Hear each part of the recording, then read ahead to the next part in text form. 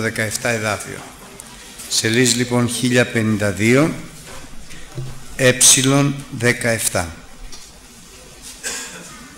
Οι καλώς προϊστάμενοι πρεσβύτερες αξιώνονται διπλής τιμής. Μάλιστα όσοι κοπιάζουσιν εις λόγων και διδασκαλίαν, διότι λέγει η Γραφή δεν θέλεις σε φράξη το στόμα βουός αλωνίζοντος και άξιος είναι ο εργάτης του μισθού αυτού. Κατηγορία εναντίον πρεσβυτέρων μην παραδέχω εκτός διαστόματος δύο ή τριών μαρτύρων. Τους αμαρτάνοντας έλεγχε ενώπιον πάντων για να έχω φόβων και ηλυπή. Διαμαρτύρομαι ενώπιον του Θεού και του Κυρίου Ιησού Χριστού και των εκλεκτών αγγέλων να φυλάξει ταύτα χωρίς προτιμήσεως. Μη δε πράτων κατά χάρη. Μη επιθετε χείρας ταχαίωσης μηδένα. Μη δε γίνου κοινωνός αλωτρίων αμαρτιών. Φύλατε σε αυτόν καθαρόν. Μη υδροπότη πλέον, αλλά μεταχειρίζου ολίγων ίνων δια το στόμαχό σου και τα συχνά σου ασθενείας. Τινών ανθρώπων, η αμαρτία είναι φανερέ και προπορεύονται αυτόν εις την κρίση, εις την άσδε και επακολουθούσει.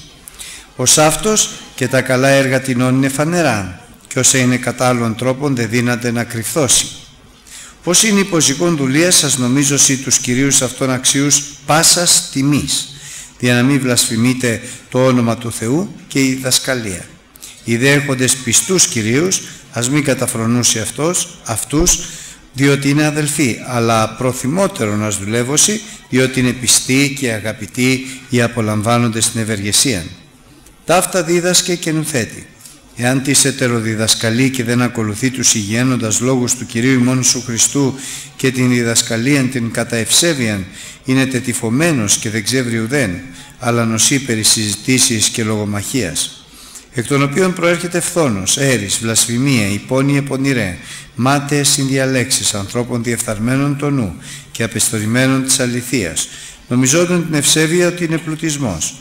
Από μακρίνου, από τον τιούτον, Μέγας δε πλουτισμός είναι η ευσέβεια μεταυταρκίας, διότι δεν εφέραμε ουδέν στον κόσμο, φανερό ότι ουδέ δυνάμεθα να εκφέρομεν τι.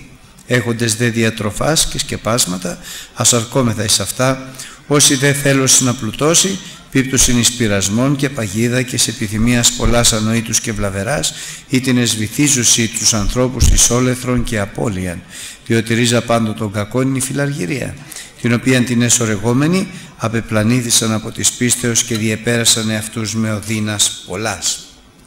Το Ευαγγέλιο του Ιησού Χριστού, αδερφοί αγαπητοί, έχει ένα τριπλό, θα τολμούσα να πω, σκοπό απευθυνόμενο προς τους ανθρώπους. Ότι ακριβώς ήταν και ο Ιησούς Χριστός όταν ήρθε στη γη, σαν Υιός ανθρώπου. Πρώτον είναι να αποκαλύψεις τα μυστήρια της Βασιλείας των Ουρανών, να αποκαλύψεις στους ανθρώπους την αιώνια ζωή.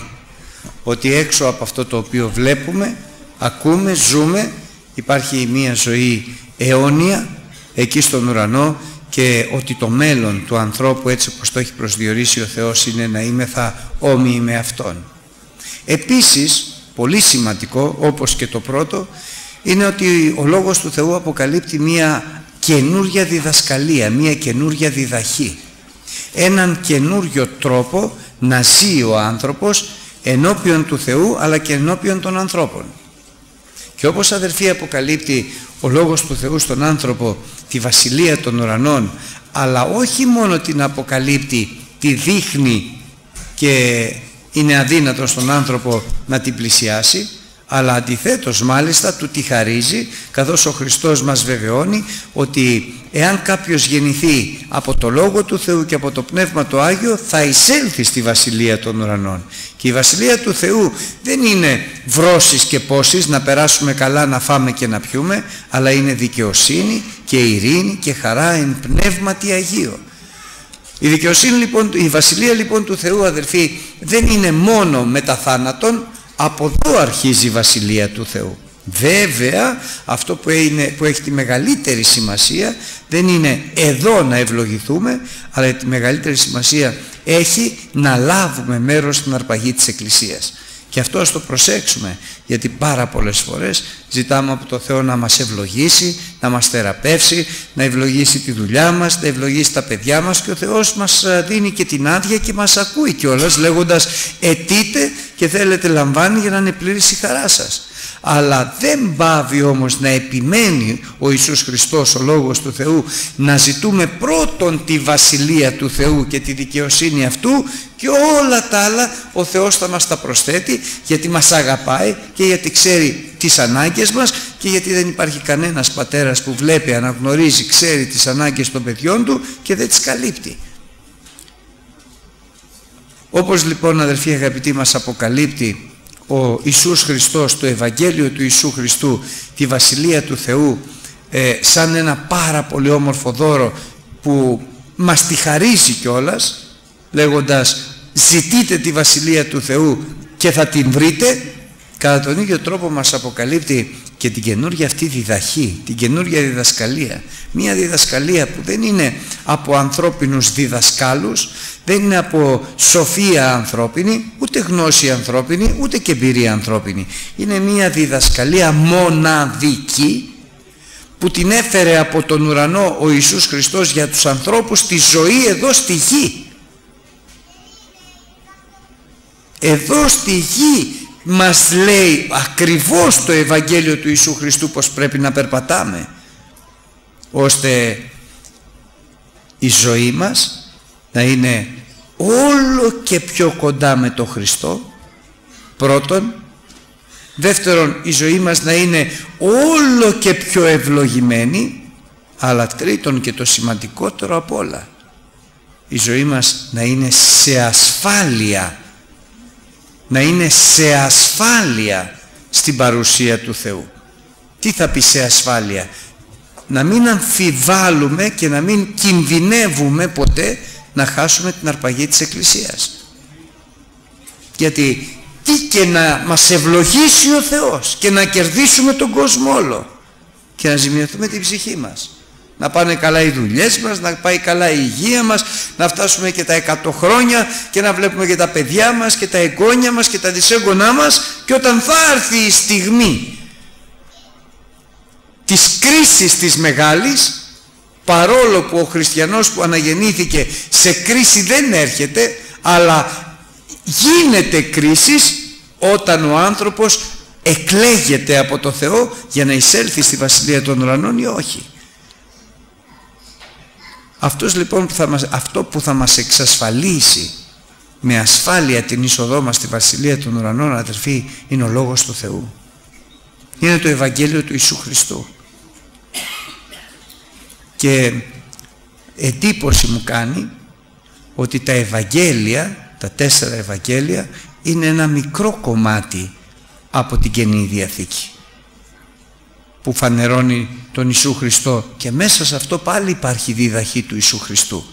Αλλά η πράξεις που δείχνει πως ήταν η πρώτη Αποστολική Εκκλησία για να μιμηθούμε τη ζωή της Εκκλησίας αλλά και οι επιστολές που μας φανερώνουν τον τρόπο που πρέπει να πολιτευόμαστε μέσα στην Εκκλησία αλλά και μέσα στον κόσμο αυτό είναι το μεγαλύτερο μέρος της Καινής Διαθήκης που σημαίνει ότι ο Χριστός ο Λόγος του Θεού, ο Θεός έχει δώσει και δίνει πολύ μεγάλη σημασία στη διδαχή.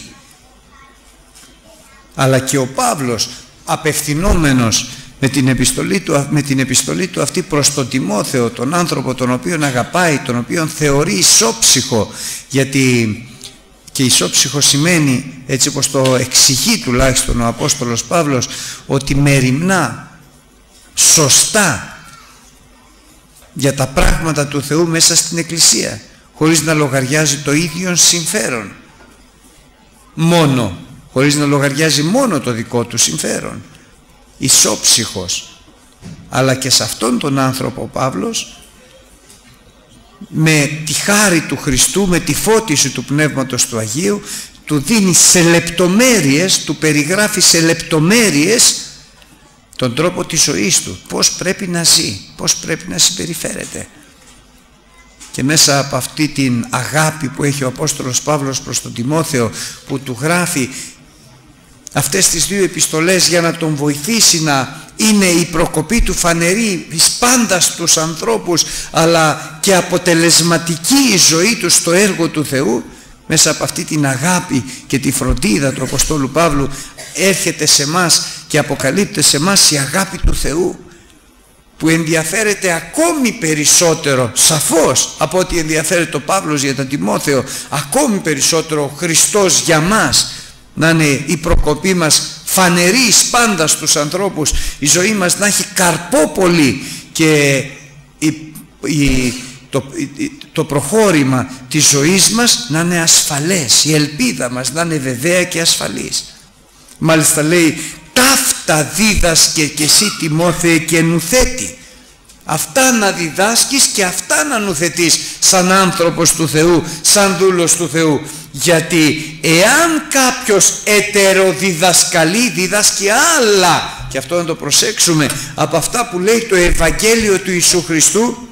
Και δεν ακολουθεί και τι όμορφη λέξη τους συγγένοντας λόγους του Κυρίου ημών Ιησού Χριστού και την διδασκαλία την κατευσέβιαν ωραίες λέξεις αδελφοί πλήρεις λέξεις γεμάτες από σοφία ουράνια.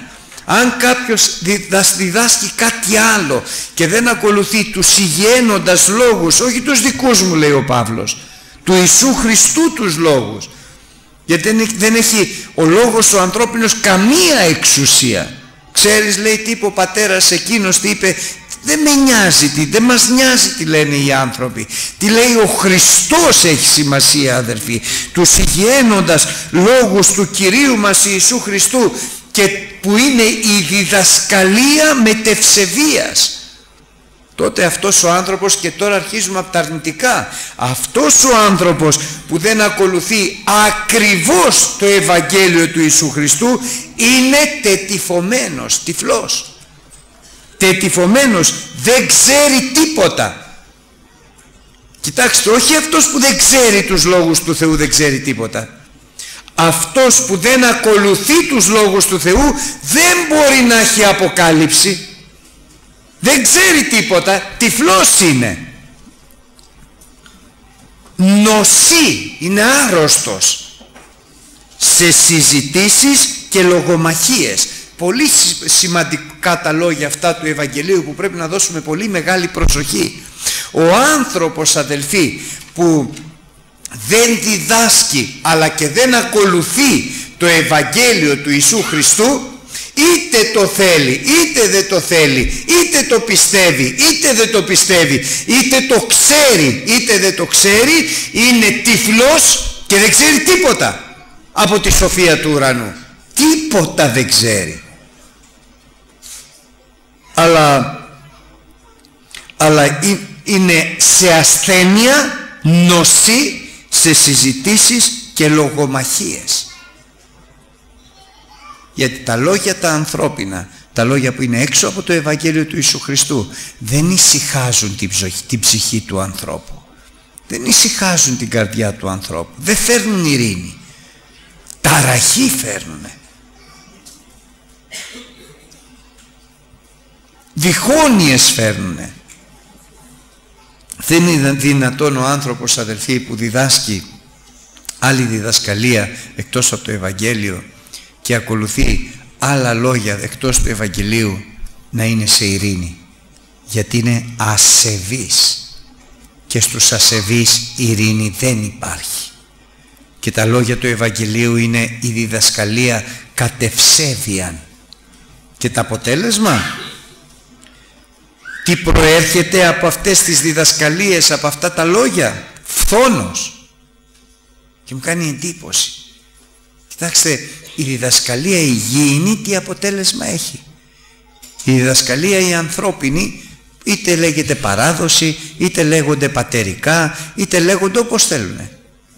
Δημιουργεί φθόνο. Έριδες, βλασφημίες, υπόνοιες πονηρές, μάταιες συνδιαλέξεις ανθρώπων που νομίζουν την ευσέβεια ότι είναι πλουτισμός που καταλήγουν εκτός του ότι είναι φόνος, έριες, έριδες, βλασφημίες, υπόνοιες, μάταιες συνδιαλέξεις οδηγούν και τον άνθρωπο στη φιλαργυρία. Οδηγούν τον άνθρωπο να σκεφτεί ότι να η ευκαιρία να βγάλουμε χρήματα. Να το μνημόσυνο. Καλό είναι να το κάνουμε για να πάρουμε μερικά λεφτά. Να η βάφτισης. Καλό είναι να την κάνουμε σπανίπια για να βγάλουμε μερικά λεφτά. Κοιτάξτε πόσο αληθινός είναι ο Λόγος του Θεού και πόσο τον βλέπουμε. Οτιδήποτε είναι έξω από το Ευαγγέλιο οδηγεί τους ανθρώπους στη φιλαργυρία. Και η φιλαργυρία αδερφοί αγαπητοί λέει η Γραφή ότι είναι η ρίζα πάντων των κακών. Αλλά η φιλαργυρία προέρχεται από την έτεροδιδασκαλία την οποία οι άνθρωποι, όσοι άνθρωποι διδάσκουν ή ακολουθούν. Μάλλον και διδάσκουν και ακολουθούν. Ενώ μέγας πλουτισμός λέει η Γραφή είναι η ευσέβεια μεταφταρκίας. Αυτός είναι ο πλουτισμός του χριστιανού. Τι πλουτισμός, δηλαδή εάν περπατήσω με το Ευαγγέλιο του Ιησού Χριστού θα γίνω εκατομμυριούχος, αυτό μας λέει το Ευαγγέλιο. Όχι βέβαια, αλλά αν περπατήσεις με το Ευαγγέλιο του Ιησού Χριστού θα γίνεις πλούσιος σε αγάπη, σε χαρά, σε ειρήνη, σε ευλογία. Πλούσιος μέσα στην οικογένειά σου. Η αγκαλιά σου θα είναι ανοιχτή η αγκαλιά της οικογένειάς σου θα είναι ανοιχτή. Δεν θα υπάρχουν έρηδες δεν θα υπάρχουν φθόνοι δεν θα υπάρχουν υπόνοιες πονηρές μέσα στο σπίτι. Μάταιες συνδιαλέξεις διαφθαρμένος νους δεν θα υπάρχει. Γιατί δεν θα υπάρχει υστέρησης της αληθείας αυτός είναι ο πλουτισμός. Αυτά είναι αδερφοί αγαπητοί τα λεφτά μας. Η χαρά του Κυρίου. Αυτή είναι η δύναμή μας. Και αυτά θέλουμε να είναι. Αλλά προσθέτει ο Λόγος του Θεού και για μας. Προσέχετε όμως. Εάν έχετε διατροφάς και σκεπάσματα να αρχίστε εις αυτά αδελφοί αγαπητοί. Να αρχίστε εις αυτά μην μπει μέσα στην καρδιά σας και εσάς η επιθυμία να πλουτίσετε. Μην αφήσετε την καρδιά σας να θέλει την ευημερία. Να μένετε ικανοποιημένοι και να αρκείστε σε αυτά που ο Θεός σας δίνει όσα κι αν είναι. Με την βεβαιότητα μέσα στην καρδιά ότι ό,τι έχω ο Θεός μου τα έχει δώσει και σε ευχαριστώ Κύριε γιατί μου καλύπτουν τουλάχιστον τη διατροφή μου και τα σκεπάσματά μου. Από εκεί και πέρα είμαι πλούσιος. Είμαι πλούσιος στην παρουσία Σου. Είμαι πλούσιος στη χαρά Σου. Και η προσοχή, γιατί μας επιφυστά την προσοχή το Ευαγγέλιο του Ιησού Χριστού, είναι πρόσεξε μην η καρδιά σου χαλάσει και ζητήσεις να πλουτίσεις. Και ξέρετε αδερφοί αγαπητοί αυτό δεν σημαίνει ότι δεν θα ζητήσουμε ή δεν θα πάρουμε την αύξηση στο μισθό μας ή ό,τι έρχεται μπροστά μας δεν θα το απολαμβάνουμε. Ό,τι μας δίνει ο Θεός θα το απολαμβάνουμε, θα το χαιρόμαστε αλλά η παγίδα είναι του άφρονα πλούσιου να ανοίξω καινούργιες αποθήκες να τα βάλω γιατί έτσι θα πω στην ψυχή μου ψυχή τώρα έχεις πολλά αγαθά φάε πίνε και εφραίνουσε τι πολλά δεν θα η ψυχή σου φάει, πιει και εφρανθεί επειδή ευτύχησαν τα χωράφια σου. Η ψυχή σου θα φάει, θα πιει και θα εφρανθεί επειδή ο Θεός είναι μαζί σου. Αλληλούια. Προσοχή λοιπόν, μην πλανηθεί η καρδιά μας και να ζητάμε πλουτισμό γιατί το αποτέλεσμα είναι να, πέσουμε, να πέσουμε όποιος θέλει, όποιος επιθυμήσει τέτοιο πράγμα θα πέσει σε πειρασμό, σε παγίδα, σε πολλές επιθυμίες ανοήτους, βλαβερές που οδηγούν στον όλοθρο και στην απώλεια. Όμως αδελφοί αγαπητοί, αφού διαπιστώσαμε ότι υπάρχουν δύο δρόμοι έτσι όπως μας αποκαλύπτει το Ευαγγέλιο η υγιένουσα η δασκαλία που είναι η ευσέβεια μεταφταρκίας και η διδασκαλία έξω από το Ευαγγέλιο που οδηγεί στις επιθυμίες του πλούτου, στις επιθυμίες του πλωτισμού τώρα να δούμε τις λεπτομέρειες που ο Απόστολος Παύλος με τόσο αγάπη και χαρά και, λεπτομέ... και έτσι φροντίδα γράφει στον Απόστολο Τιμόθεο, στον άνθρωπο του Θεού, στον νεαρό Τιμόθεο. «Η καλώς προϊστάμενη πρεσβύτερη Τιμόθεε ας αξιώνονται από σένα διπλάσιας τιμής μάλιστα όσοι κοπιάζωσι εις λόγων και εις διδασκαλίαν. Και λέει παρακάτω στο έκτο κεφάλαιο όσοι είναι υποζυγών δουλείας ας νομίζωσι τους κυρίους αυτούς αξίους πάσης τιμής οι πρεσβύτεροι να αξιώνονται διπλάσια τιμής οι δε κύριοι των ανθρώπων οι οποίοι δουλεύουν σε άλλους ανθρώπους να αξιώνονται τιμής. Είναι αδερφοί η διπλή, και αναρωτιόμουν τι είναι αυτή η διπλή τιμή. Διπλή τιμή δηλαδή τι; Και βλέπετε συνεχίζει διότι λέγει η Γραφή δεν θέλεις σε εμφράξει το στόμα βόσα λενίζοντος και άξιος είναι ο εργάτης του μισθού αυτού και συνδυάζει την διπλή τιμή των καλώς προϊσταμένων πρεσβυτέρων τη συνδυάζει με, και με το στόμαβο σαλονίζοντος και με το άξιος είναι ο, μισθός, ο άξιος είναι ο εργάτης του μισθού αυτού. Η διπλή τιμή είναι αδελφοί αγαπητοί αυτό που θέλει ο Θεός και σεβασμός και αμοιβή. Και σέβεσαι, γιατί μπορεί να σέβεσαι κάποιον αλλά να τσιγκουνεύεσαι. Ή μπορεί να είσαι απλόχερος αλλά να μην σέβεσαι. Υπάρχει όμως και μία καλύτερη οδός αυτή την οποία εξέλεξε ο Απόστολος Παύλος που λέει εγώ δεν θέλω να χάσω ποτέ το καύχημά μου ενώπιον του Θεού και το καύχημά μου είναι όχι να κηρύττω γιατί αυτό είναι χρέος μου επειδή χρεώστης είμαι στο Θεό. Ο Θεός έκαμε χάρη, με εξέλεξε και με κατέστησε κήρυκα του Ευαγγελίου του Ιησού Χριστού αλλά αυτό το οποίο είναι καύχημα και ποτέ μη γέννη το εις εμένα το χάσω λέει ο Απόστολος Παύλος είναι να κάνω το Ευαγγέλιο να κηρύττω το Ευαγγέλιο αδάπανα. Δηλαδή να μην βάζω σε κανέναν βάρος αλλά με τα ίδια μου τα χέρια να δουλεύω ώστε αυτά τα οποία βγάζω να με καθιστούν ελεύθερο από κάθε άνθρωπο. Ελεύθερος λοιπόν ον πάντων ε, εδούλωσα λέει ο Απόστολος Παύλος τον εαυτό μου εις πάντας για να κερδίσω τους πλειοτέρους. Η διδασκαλία λοιπόν του Ευαγγελίου είναι τους προϊσταμένους πρεσβυτέρους πρέπει πρώτον να τους σέβεσαι μέσα στην Εκκλησία. Και ο σεβασμός βγαίνει από την ψυχή βγαίνει από την καρδιά. Δεν είναι προσποιητός. Σεβασμός, φόβος εγώ σήμερα κατάλαβα αυτό που σας έχω πει πάρα πολλές φορές και ο Θεός το έχει βάλει στην καρδιά μου αποδεικνύεται ότι τους πρεσβυτέρους της Εκκλησίας μας τους φοβάμαι γιατί ξέρω τους έχει βάλει το Πνεύμα το Άγιο. Και σήμερα που διάβαζα λέω καλά λες Γιώργο η πρώτη, η πρώτη ε, υποχρέωσή μου για όλους τους πρεσβυτέρους είναι ο σεβασμός. Να τους σέβομαι, να τους ακούω με προσοχή να ξέρω ότι αυτοί οι άνθρωποι δεν είναι τυχαίοι, δεν βρέθηκαν μέσα στην Εκκλησία επειδή κάποιος τους εξέλεξε, τους διάλεξε. Αλλά τους πρεσβυτέρους έβαλε το Πνεύμα το Άγιο. Και ακόμη ξέρετε τι λέει πιο κάτω να τα συνδέσουμε όλα μαζί. Μη επίθετε χείρα ταχαίως εις μηδένα. Μη βιάζεσαι να χειροτονήσεις κανέναν γρήγορα ούτε διάκονο ούτε πρεσβύτερο αλλά θα περιμένεις θα περιμένεις να υπάρχουν όλες οι προϋποθέσεις που λέει η Γραφή για τους πρεσβυτέρους οι προϋποθέσεις είναι αυτές που αναφέρεται ο Απόστολος Παύλος στον Τίτο λέγοντας σε αφήκα στην Κρήτη δια να διορθώσεις τα ελίποντα και να καταστήσεις εν πάση πόλη πρεσβυτέρους καθώς εγώ σε διέταξα. Πρεσβύτερο τον βάζει μεν ο Τίτος αλλά κατόπιν διαταγής. Τον πρεσβύτερο τον εκλέγει ο ποιμένας αλλά κατόπιν διαταγής και η διαταγή είναι άνωθεν. Δεν κάνει ο ποιμένας ό,τι θέλει.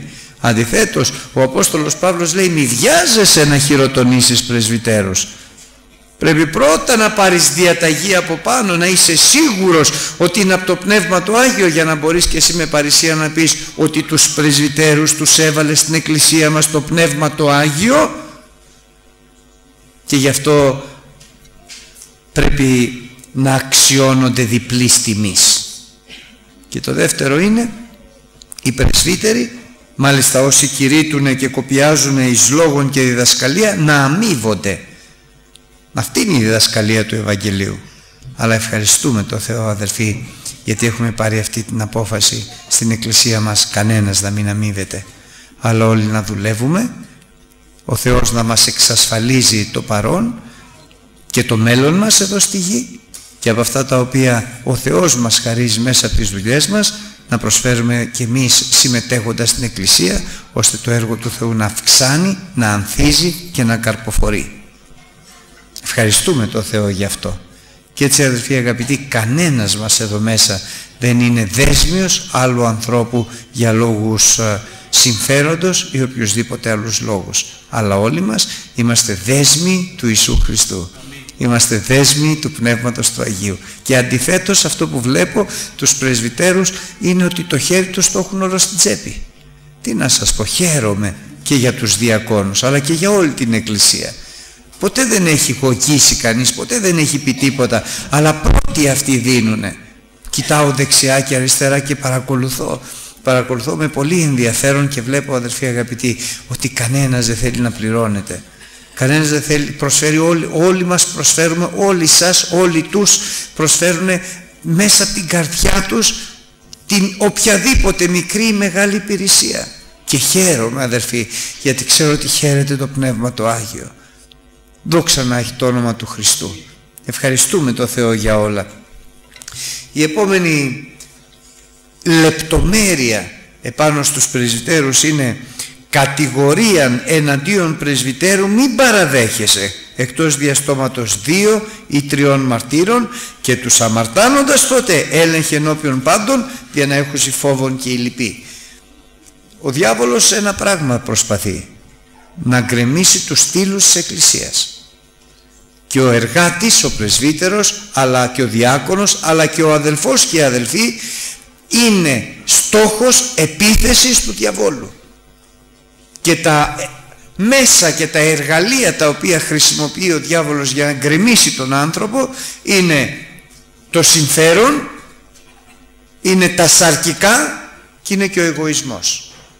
Η φιλοδοξία, η υπερηφάνεια. Το συμφέρον είναι να η ευκαιρία να βγάλεις λίγα λεφτά. Ένα ψεματάκι θα πεις αδερφέ. Δεν χάθηκε ο κόσμος. Μια μικρή ανομία, παράβαση να κάνεις δεν χάθηκε ο κόσμος και γεμίζει η καρδιά του ανθρώπου με φιλαργυρία και γκρεμίζει το έργο του Θεού. Τα σαρκικά είναι οι προκλήσεις που υπάρχουν δεξιά, αριστερά, παντού. Έχει έναν αγώνα ο άνθρωπος του Θεού, εργάτης του Θεού, να μείνει ακέραιος, στερεωμένος στο θέλημα του Θεού, άγιος, ξεχωρισμένος και τελευταίος, τελευταίο αδελφοί αγαπητή εργαλείο του διαβόλου είναι η περηφάνεια. Εσύ είσαι ο καλύτερος. Πω, πω, τι προφητεία ήταν αυτή που έκανες και βγήκε. Πω, πω, τι κήρυγμα ήταν αυτό. Πω, όλοι κλαίγαμε. Ο Θεός να μας φυλάει αδελφοί. Γιατί είτε προφητεία, είτε κήρυγμα, είτε οτιδήποτε κάνουμε, δεν το κάνει ο άνθρωπος. Παρακυρίου είναι και αν έχουμε να θαυμάσουμε κάποιον ανάμεσά μας είναι μόνο ο Χριστός. Κανένας άνθρωπος αδερφοί δεν είναι άξιος λόγου για τίποτα. Πολλές φορές χαίρομαι για τους αδερφούς και λέω αυτός έκανε εκείνο αυτός έκανε το άλλο λέω Κύριε σε ευχαριστώ για αυτό είναι τι ωραίο σε ευχαριστώ για εκείνο ναι. και έρχεται ο Θεός πάντοτε αδερφοί σας το λέω και μου λέει δεν το έκανε αυτός εγώ το έκανα δεν το έκανε αυτός και έρχομαι στα συγκαλά μου. Γυρίζω πίσω και λέω αμήν Κύριε, δόξα να έχει το όνομά σου το Άγιο. Τίποτα αδερφοί καλό δεν μπορεί να κάνει κανείς μας. Μην πιστέψεις ότι είναι δυνατόν να κάνεις κάτι καλό. Τίποτα όταν κάνει ο άνθρωπος ζημιά θα κάνει. Δεν μπορεί ο άνθρωπος να οικοδομήσει. Δεν μπορεί ο άνθρωπος να κάνει τίποτα που να έχει καλό αποτέλεσμα. Όταν όμως ο Θεός είναι μαζί σου, τότε ό,τι κάνεις ο Θεός θα το ευωδώνει. Και θα είναι και στην οικογένειά σου τέλεια η συμπεριφορά σου και στη δουλειά σου τέλεια η συμπεριφορά σου και στην εκκλησία τέλεια η ζωή σου. Παντού θα υπάρχει μία τελειότης. Γιατί ο Ιησούς Χριστός αδερφοί αγαπητοί είναι ο τέλειος Θεός. Και το τέλειο μόνο ο Ιησούς Χριστός μπορεί να το κάνει. Να στο χαρίσει και εμείς θέλουμε αδελφοί αγαπητοί την πλήρη και την τέλεια ευλογία από το Θεό. Όμως προσοχή σε αυτό.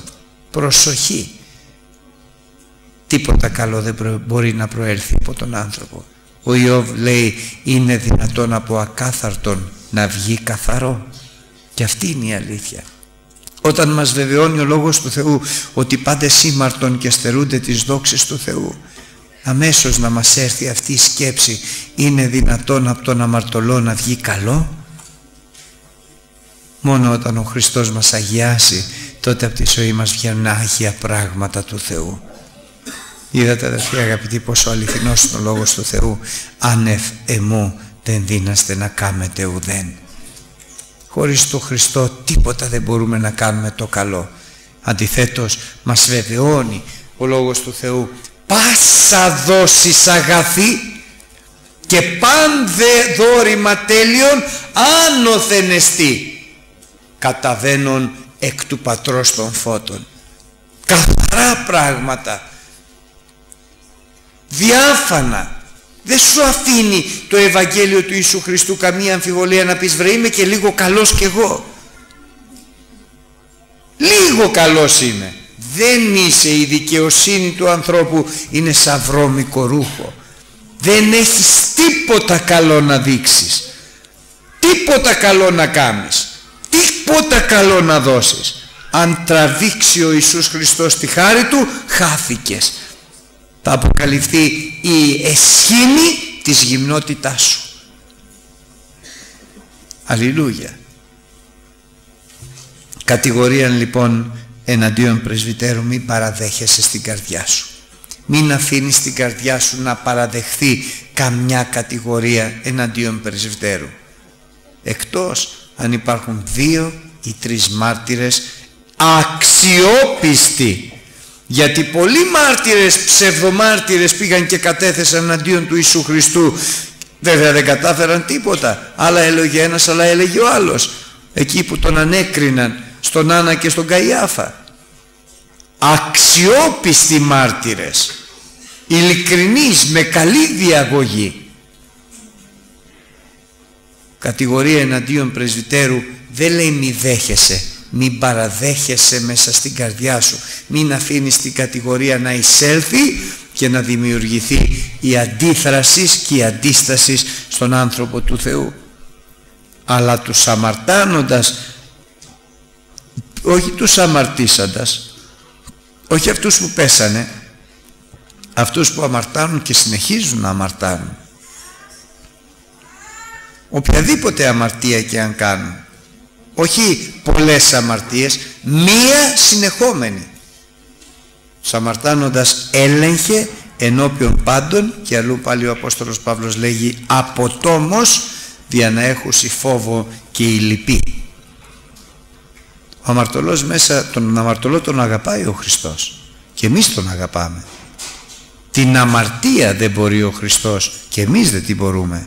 Ένας άνθρωπος όμως που φιλοξενεί μέσα στη ζωή του μόνιμη αμαρτία χωρίς να ελέγχεται χωρίς να λυπάται γιατί εάν κάποιος έρθει όπως ήμουν εγώ στην αρχή και πει δεν μπορώ να κόψω το τσιγάρο παραδείγματος χάρη μια μικρή αμαρτία ε δεν θα το μαλώσουμε θα προσευχηθούμε ο Θεός να το κόψει αν όμως έρθει κάποιος και πει δεν πειράζει και αν καπνίζεις δεν χάθηκε ο κόσμος σιγά και πού το λέει. Εγώ θα καπνίζω και θα πάω και στον ουρανό. Αυτό τον ελέγχεις από τόμος. Γιατί αυτός κάνει ενσυνείδητα αυτό που δεν θέλει ο Θεός. Σε αυτό θα πεις «Ε, τι είναι αυτά που λες. Πήγαινε προσευχή σου να στο κόψει ο Θεός σιγά που θα μου πεις δεν πειράζει. Ή να έρθει ένας πρεσβύτερος και να φοράει ένα σκουλαρίκι. Ε, δεν πειράζει, τι είναι το σκουλαρίκι βλέπει ο Θεός. Θα μου πεις αυτό δεν θα το επιτρέψεις ούτε και εξαδυναμίας γιατί είναι πράγματα που επιτρέπονται και πράγματα που δεν επιτρέπονται ή σκεφτείτε να, να αφήσω εγώ τα μαλλιά μου αλογουρά μέχρι την πλάτη και να κηρύττω ο Θεός να μας φυλάει ο Θεός να μας φυλάει αδελφοί τους αμαρτάνοντας θα τους ελέγχουμε από τόμος αλλά η προσοχή είναι όχι οποιοδήποτε δεν το λέει σε οποιονδήποτε ο Απόστολος Παύλος τον Τιμόθεο το λέει που είναι εργάτης του Θεού. Δεν μπορεί ο ένας να ελέγχει τον άλλον εδώ γιατί δεν ξέρει και πολλά πράγματα. Ο, ο πρεσβύτερος είναι αυτός που έχει την εξουσία από το Θεό και ξέρετε αδερφοί αγαπητοί το πιο δύσκολο πράγμα μέσα στην Εκκλησία είναι ο έλεγχος. Πολύ δύσκολο πράγμα. Γιατί είναι δύσκολο; Το να ελέγξεις κάποιον είναι εύκολο αλλά πρέπει να ελέγξεις και να έχεις καλό αποτέλεσμα. Και να τον ελέγξεις και να τον κρεμίσεις και να τον σκοτώσεις και να τον βγάλεις έξω. Θέμα είναι να ελέγξεις κάποιον άνθρωπο για να επιστρέψει, να μετανοήσει και να ευλογηθεί. Αυτό ο έλεγχος δεν είναι εύκολο δεν είναι εύκολο. Όταν πρόκειται περί ελέγχου εγώ ψάχνω να βρω δίπλα ποιον θα στείλω. Είναι δύσκολος ο έλεγχος. Πρέπει να εισχάρει από το Θεό. Πρέπει να σε καλύψει το αίμα του Χριστού. Να βρεις χάρη από το Θεό και από τους ανθρώπους. Να είσαι ταπεινός. Να έχεις αγάπη. Να έχεις υπηρετήσει τον άνθρωπο αυτό. Γιατί είπαμε όλοι μας κρινόμαστε από τα αποτελέσματά μας και αυτό δεν είναι αδελφοί αγαπητή ανθρώπινη σοφία. Το δέντρο λέει η Γραφή θα το γνωρίσεις από τον καρπό. Δεν γίνεται δέντρο καλό να κάνει κακό καρπό. Δεν μπορεί η αγριελιά να κάνει καλή ελιά ούτε η καλή ελαία να κάνει άγριες ελιές. Δεν μπορεί, δεν γίνεται αυτό το δέντρο λοιπόν πρέπει για να το γνωρίσεις αν είναι καλό θα το γνωρίσεις από τον καρπό του και εγώ το θυμάμαι όταν ήμουν μικρός δεν μπορούσα να ξεχωρίσω την μανταρινιά από την ερατζιά και, το, και την ξεχώριζα μόνο όταν έκανε καρπό το νεράτς ήταν πικρό το μανταρίνι είναι γλυκό ο Θεός να μας φυλάει αδερφοί αγαπητοί να έχουμε καλό καρπό στη ζωή μας. Και καλό καρπό στη ζωή μας έχουμε μόνο όταν ο Κύριος μας δώνει. Αν δεν σου δώσει ο Θεός δεν μπορεί να έχεις καλό καρπό. Και ο καλός καρπός είναι η οικογένειά μας, είναι τα παιδιά μας, είναι η συμπεριφορά μας, είναι η ζωή μας, είναι η χαρά που προσφέρουμε. Δεν πληγώνουμε τους ανθρώπους, τους γεμίζουμε χαρά. Δεν τους κοροϊδεύουμε τους ανθρώπους, τους λέμε την αλήθεια δεν τους λέμε ψέματα δεν είναι αλαζονευόμεθα δεν υπερηφανευόμεθα ενώπιον των ανθρώπων αλλά ταπεινωνόμεθα ενώπιον των ανθρώπων αυτός είναι ο καρπός του Πνεύματος του Αγίου. Δεν αγριεύουμε, δεν θυμώνουμε αλλά έχουμε πάντα ειρήνη, μακροθυμία και υπομονή. Και ο Θεός θα μας δίνει ακόμη περισσότερο καρπό. Τώρα λέει κάτι αδερφοί που εμένα εγώ το θεωρώ πάρα πολύ σημαντικό. Διαμαρτύρομαι και είναι σημαντικό γιατί χρησιμοποιεί πολύ έντονες εκφράσεις στο Ευαγγέλιο ο Απόστολος Παύλος. Διαμαρτύρομαι πρώτον ενώπιον του Θεού δεύτερον ενώπιον του Κυρίου Ιησού Χριστού και τρίτον ενώπιον των εκλεκτών αγγέλων αυτό είναι το περιβάλλον μας. Από εκεί θα ξεκινήσουμε πρώτα. Το περιβάλλον της Εκκλησίας του Χριστιανού το, το, της οικογένειας της χριστιανικής αυτό είναι και το περιβάλλον του Αποστόλου Παύλου όταν γράφει προς τον Τιμόθεο και το περιβάλλον του Τιμόθεου είναι αυτό. Εδώ υπάρχουν αδελφοί ο Θεός ο Πατέρας ο Ιησούς Χριστός και οι άγγελοι και ο Απόστολος Παύλος λέει «Ε, διαμαρτύρομαι ενώπιον του Θεού, ενώπιον του Κυρίου Ιησού Χριστού, του ανθρώπου Χριστού Ιησού, στον οποίο εδώ το υπερπάνω όνομα, αλλά και των εκλεκτών, γιατί υπάρχουν και μη εκλεκτοί, και των εκλεκτών αγγέλων. Και αυτή η διαμαρτύρησή μου είναι να προσέξεις να φυλάξεις την υγιένουσα διδασκαλία χωρίς προτίμηση, χωρίς προκατάληψη. Όχι εις βάρος. Αυτόν δεν τον συμπαθώ. Αλλά θα είμαι, άρα θα είμαι αυστηρός στο Λόγο του Θεού. Ούτε κατά χάρη, μη δε πράττων κατά χάρη, ούτε με εύνοια. Αυτός είναι δικός μου, θα είμαι πιο ελαστικός. Και αυτό αδερφοί αγαπητοί είναι μια ανθρώπινη αδυναμία. Και βλέπετε πολλές φορές οι γονείς στα δικά τους τα παιδιά είναι πολύ ελαστικοί. Στα ξένα παιδιά είναι πολύ άγριοι. Θυμώνουν, αγριεύουν. Δεν μιλάς. Στα δικά τους τα παιδιά παιδάκι μου, μην μιλάς. Πουλάκι μου. Δεν είναι έτσι αδερφοί. Αυτό είναι αμαρτία ενώπιον του Θεού. Είναι παράβασης. Χωρίς προκατάληψη και χωρίς εύνοια. Χωρίς προκατάληψη εναντίον γιατί δεν τον συμπαθείς, γιατί είναι ξένος, γιατί δεν τον ξέρεις καλά, αλλά ούτε και, και χωρίς εύνοια υπέρτινος. Δηλαδή ο χριστιανός, ο άνθρωπος του Θεού, ο δούλος του Θεού, η δούλη του Θεού, δεν είναι μόνο αντικειμενική όπως λένε οι άνθρωποι, αλλά είναι αυτό που είναι και ο Θεός, δίκαιο. Έχουν δικαιοσύνη μέσα τους. Δεν αδικούν κανέναν, αλλά ούτε και ευνοούν κανέναν όταν έχουν μπροστά τους το Λόγο του Θεού, το Ευαγγέλιο του Ιησού Χριστού. Επειδή είσαι φίλοι μου, ε, δεν πειράζει, μην τα βάφεις τα μαλλιά, βάφεις τα και λιγάκι εσύ τα μαλλιά σου. Επειδή είσαι συγγενής μου, ε, δεν πειράζει. Όχι αδερφοί, πειράζει και καίει. Όλα πειράζουν όσα είναι παράβαση και ανομία. Το ξαναλέω όμως, την αμαρτία τη συγχωρεί ο Θεός. Τον αμαρτωλό το συγχωρεί ο Θεός. Αλλά δεν αποδέχεται την αμαρτία του. Την καταδικάζει και εμείς την καταδικάζουμε και περιμένουμε το Θεό να επέμβει και να ελευθερώσει όλους μας γιατί στον έναν είναι αυτή η αμαρτία, στον άλλον είναι εκείνη, στον άλλον είναι οι άλλοι όλοι μας αδερφοί αγαπητοί έχουμε κάτι και μάλιστα αυτό δεν το λέω εγώ μας το λέει ο Λόγος του Θεού. Αν ο Θεός λέει κρίνει έναν άνθρωπο σε χίλια πράγματα θα τον βρει ανώμο. Μην νομίζει κανείς από εμάς ότι εγώ επειδή είμαι κουρεμένος και επειδή δεν έχω και εδώ πέρα τέτοιο και σκουλαρίκι και έχω άλλα ου, έχεις άλλα ου, ο Θεός να κάνει έλεος και χάρη να φύγουν από πάνω μας και να γίνουμε μακάρι γιατί εσκεπάστη η αμαρτία μας και συγχωρήθη η παράβασή μας. Στο 24 εδάφιο λέει κάτι που επίσης είναι πολύ σοβαρό. Τεινών ανθρώπων οι αμαρτίες είναι φανερές και προπορεύονται αυτόν στην κρίση ίστινας δε και επακολουθούσει σε μερικούς ανθρώπους η αμαρτία τους φαίνεται. Σε άλλους ανθρώπους όμως η αμαρτία τους δεν φαίνεται.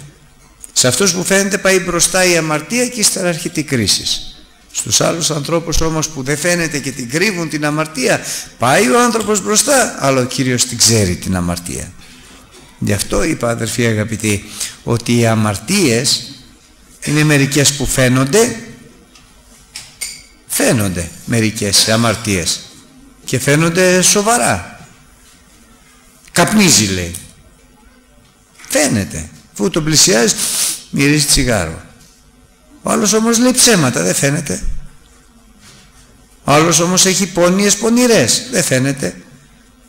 Όταν πάμε όμως στην κρίση οι, αμαρτία, οι αμαρτίες των ανθρώπων που φαίνονται όλοι τις βλέπουν ε, μπράβο κοίταξε αυτός καπνίζει κοίταξε αυτός παίζει χαρτιά κοίταξε αυτός και πάνε μπροστά οι αμαρτίες του. Όμως θα ακολουθήσεις και εσύ και δεν θα φαίνονται οι αμαρτίες σου αλλά όταν θα βρεθείς μπροστά στο Χριστό θα πει έλα εδώ το ψεματάκι που πες τσακώθηκες ε! Έβρισες ε! Θύμωσες ε και αυτό είναι πολύ σοβαρό αδελφοί αγαπητοί, γιατί πολλές φορές εμείς κρίνουμε με αυτά που βλέπουμε. Όμως ευχαριστούμε τον Θεό γιατί ο Χριστός δεν κρίνει με αυτά που βλέπουμε. Κρίνει κατά την καρδία, κρίνει με τα κρυπτά της καρδίας των ανθρώπων. Αλλά, και κάτι που είναι επίσης πολύ ωραίο, ο σάφτος και τα καλά έργα τεινών είναι φανερά. Και όσα είναι κατά άλλων τρόπων δεν δίνανται να κρυφθώσει. Σε μερικούς ανθρώπους τα καλά τους έργα είναι φανερά. Αυτός κηρύττει λέει. Είδες, κουράζεται. Είναι φανερά. Καλό είναι. Αλλά υπάρχουν άλλοι όμως που δεν φαίνονται και κάνουν πολύ περισσότερα από αυτούς που φαίνονται τα καλά τους έργα. Και λέει η Γραφή δεν θα κρυφθούν όμως εκεί πάνω και τα έργα των ανθρώπων που δεν φαίνονται. Ξημεροβραδιάζεται στην προσευχή. Ελεεί μακροθυμεί, συγχωρεί, κανένας δεν το ξέρει. Γιατί έτσι λέει το Ευαγγέλιο. Αγαπάει. Κανένας δεν το ξέρει. Κάνει επισκέψεις στους ασθενείς. Κανένας δεν το ξέρει. Αυτόν τα καλά έργα δεν θα κρυφτούν. Ακολουθούν. Είδατε αδελφοί τι ωραία που είναι η δοκιμασία του Θεού και τι ωραίο που είναι το Ευαγγέλιο του Ιησού Χριστού. Για να μην καυχηθεί καμία σάρξη. Μη με δεις εμένα που ή να δω εσένα που έκανες μια καλή, ένα καλό έργο, καλά έκανες. Αλλά και εγώ έχω κάνει που εσύ δεν το ξέρεις. Δεν βλέπω τον εαυτό μου που έκανα κάτι καλό και ο άλλος έχει κάνει που δεν το ξέρει. Και δεν το ξέρει κανείς. Γι' αυτό αδερφοί αγαπητοί το Ευαγγέλιο του Ιησού Χριστού λέει θεωρείται αλλήλους υπερέχοντας.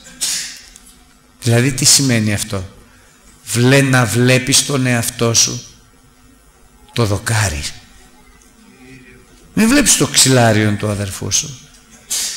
Να βλέπεις το δικό, τον, ε, αυτό το οποίο βαραίνει εσένα. Αυτό να βλέπεις και να λες ο αδερφός μου είναι πολύ καλός. Εγώ έχω να δοκάρει τέτοιο ο αδερφός μου, να ξυλαράκι τέτοιο πολύ καλός ο αδερφός μου.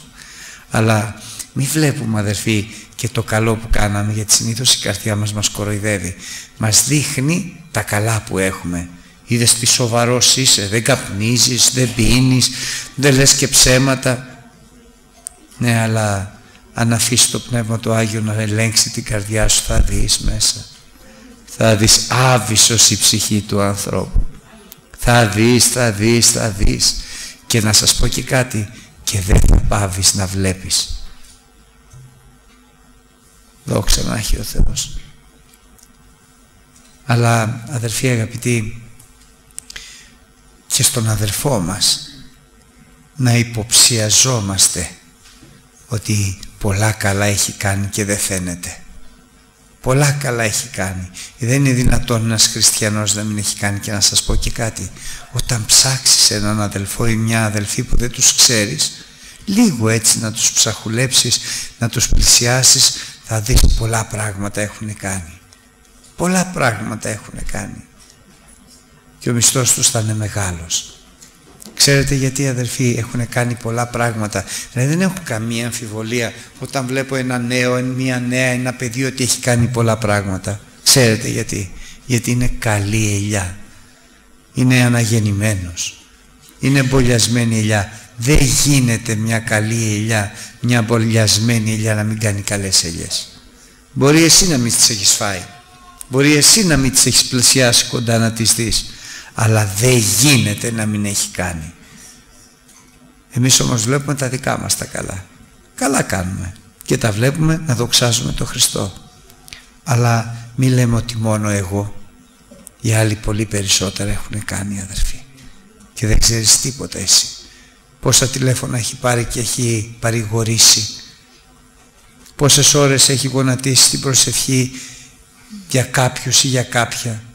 Πόσες φορές έχει κάνει επισκέψεις. Πόσες φορές έχει, έχει, έχει, έχει.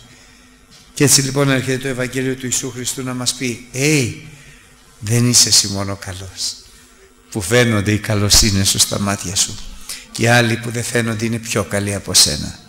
Αλλά και ακόμη «Ει, δεν είναι αυτός αμαρτωλός μόνο που βλέπεις την αμαρτία του και εσύ έχεις αμαρτίες που δεν βλέπονται και έτσι αδελφοί αγαπητοί μέσα σε αυτή τη λογική όλοι μαζί να δίνουμε πάντοτε τη δόξα στο Θεό. Αλλά για να ολοκληρώσουμε κιόλας, μη υδροπότη πλέον, αλλά μεταχειρίζω λίγο νίνον δια το στομαχό σου και τα συχνά σου ασθενείας. Είναι και αυτό κάτι μέσα στη διδασκαλία του Ιησού Χριστού. Να πίνουμε κρασί αδερφοί, αλλά όχι να μεθάμε. Ένα ποτηράκι, δύο ποτηράκια είναι καλό και για την υγεία μας, είναι καλό και για την καρδιά μας, για όλα είναι καλό. Και τέλος, όσοι είναι υποσυγοντουλίας, ας νομίζωση τους κυρίους αυτών αξίους πάσης τιμής δια να μην βλασφημείτε το όνομα του Θεού και η διδασκαλία. Οι δε έχοντες πιστούς κυρίους ας μην καταφρονώσει αυτούς διότι είναι αδελφοί αλλά προθυμότερο να δουλεύωση διότι είναι πιστοί και αγαπητοί απολαμβάνονται στην ευεργεσία. Είναι κάτι που πρέπει να του δώσουμε λίγη προσοχή. Εάν λέει έχεις άπιστους κυρίους δουλεύεις σε μια δουλειά που είναι άπιστη να τους νομίζεις αξίους πάσης τιμής να τους σέβεσαι ότι αξίζουν το σεβασμό σου και μάλιστα λέει δουλεία Την εποχή εκείνη υπήρχε δουλεία, υπήρχε ο Κύριος, υπήρχε ο δούλος. Και αν λέει είναι πιστός ο Κύριος σου, μη τους καταφρονείς. Πιστοί άνθρωποι και είμαι δούλος του, δουλεύω για αυτόν, ναι. Με εκμεταλλεύεται, μη τους καταφρονείς. Δεν αρέσει στο Θεό.